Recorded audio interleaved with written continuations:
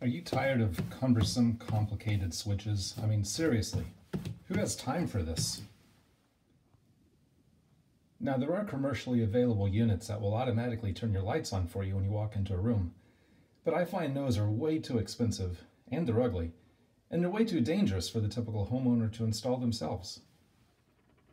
Well, finally, the wait is over. There is a product that is perfect for any application for automatically turning your lights on or off. It's the Auto Switch Servo and can be installed in only two easy steps with absolutely no tools needed whatsoever. The first step here has already been done. Simply apply the switch servo activator to the wall using your favorite liquid adhesive.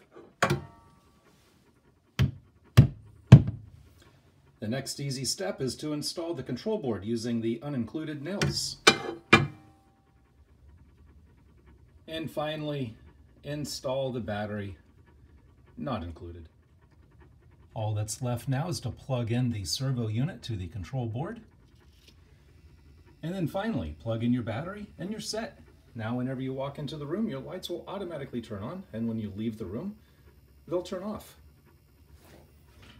The control panel uses an PIR sensor that will detect body heat in a room, so when somebody enters the room, it turns the servo to the on position. When you leave the room, there's no more motion, no more body heat in the room, so it will then turn it off. So as you can see, the light in the garage is off. Now normally I would have to fumble around in the dark and find the switch, and it might take me some time to get the light on.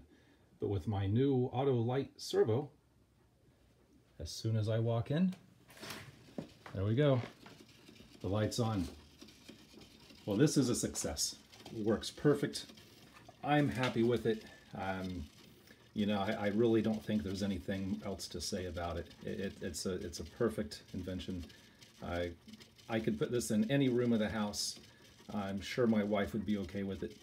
Um, and yeah, that's it. So um, until next time, as always, thanks for watching. And you know, it's kind of sad. This isn't the stupidest thing I've seen on YouTube.